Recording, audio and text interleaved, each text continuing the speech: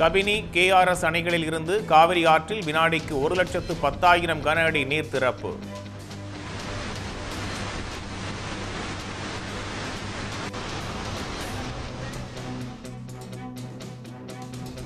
முழு கொள்ளளவை அணைகள் எட்டியதால் உபரி நீர் முழுவதும் அப்படியே வெளியேற்றம்.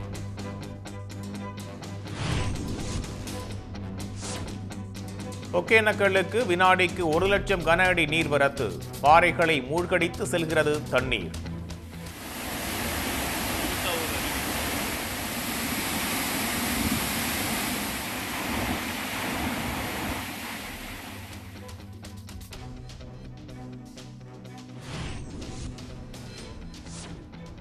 மேட்டூர் அணையின் நீர்மட்டம் நூறு அடியை எட்டியது. காவிரி அன்னைக்கு பூக்களை தூவி வரவேற்பு.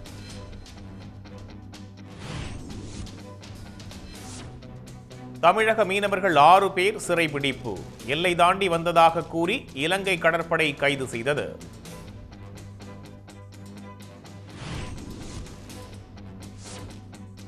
ஆடி மாதம் பிறப்பதால் திருப்புவனம் கால்நடை சந்தையில் ஆடு கோழிகள் விலை உயர்வு. விற்பனையும் அமோகம்.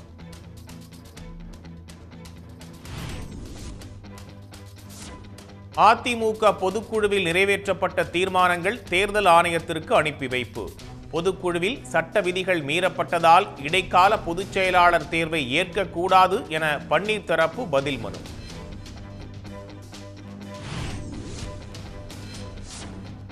அதிமுக தலைமை அலுவலகம் யாருடைய கட்டுப்பாட்டில் உள்ளது? பன்னீர் பழனிசாமி தரப்பு ஜூலை இருபத்தி ஐந்தில் நேரில் ஆஜராகி விளக்கம் தர நோட்டீஸ்.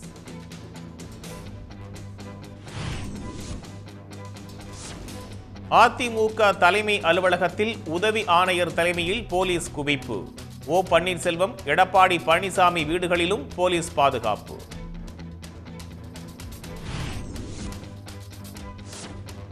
அதிமுக தலைமை அலுவலகத்திலிருந்து விலை மதிப்புமிக்க பொருட்கள் ஆவணங்களை பன்னீர்செல்வம் தரப்பு கொள்ளையடித்ததாக போலீசில் புகார். கொள்ளையடிக்கப்பட்ட பொருட்களை மீட்டுத் தர வேண்டும் என்று கோரிக்கை.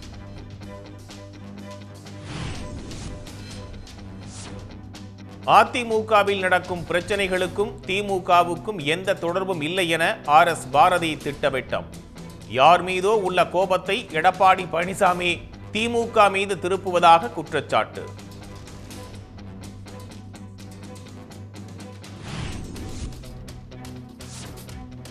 மக்களுக்கு பிரச்சனை இருப்பது உறுதி செய்யப்பட்டால் எட்டு வழிச்சாலை திட்டம் கைவிடப்படும். ஒன்றிய அமைச்சர் வி கே சிங் உறுதி. அதிமுகவைச் சேர்ந்த முன்னாள் அமைச்சர் ஆர். காமராஜ் மீது பண மோசடி புகார். சென்னையில் வீடு காலி செய்து தர நாற்பத்தி ஐந்து லட்சம் ரூபாய் பெற்று மோசடி செய்ததாக குற்றச்சாட்டு. கோடநாடு கொலை கொள்ளை வழக்கு தொடர்பாக தனியார் ரிசார்ட் உரிமையாளரிடம் தனிப்படை போலீசார் விசாரணை. சென்னையில் வருமான வரித்துறை அதிகாரிகள் பறிமுதல் செய்த ஆவணங்கள் அடிப்படையில் நடவடிக்கை.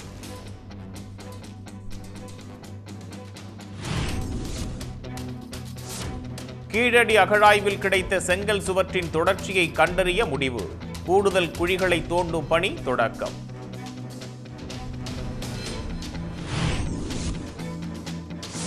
செஸ் ஒலிம்பியாட் போட்டிகளுக்காக தயாராகும் மாமல்லபுரம். இன்று முதல் மாமல்லபுரத்தில் ட்ரோன்கள் பறக்க தடை விதித்தது மாவட்ட நிர்வாகம்.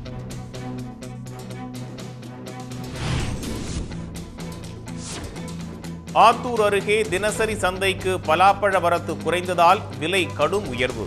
ஐந்து கிலோ எடை கொண்ட பலாப்பழத்தின் விலை ஐம்பது ரூபாய் வரை அதிகரிப்பு.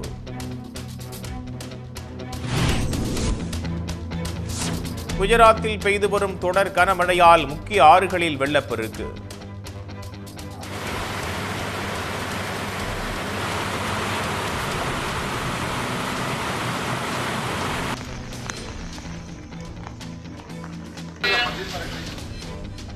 கரையோர கிராமங்களில் வெள்ளம் புகுந்ததால் பல ஆயிரம் மக்கள் தவிப்பு.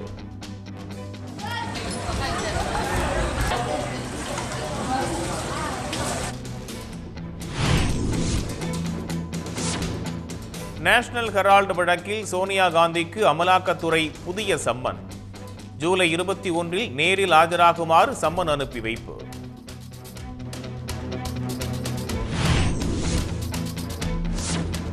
கோவா மாநில காங்கிரஸ் மூத்த தலைவர்கள் மீது அடுத்தடுத்து எடுக்கப்பட்ட நடவடிக்கைகளால் கட்சிக்குள் குழப்பம். எம்எல்ஏக்களை வாங்க தலா நாற்பது கோடி ரூபாய் வரை பாஜக பேரம் பேசுவதாக காங்கிரஸ் குற்றச்சாட்டு.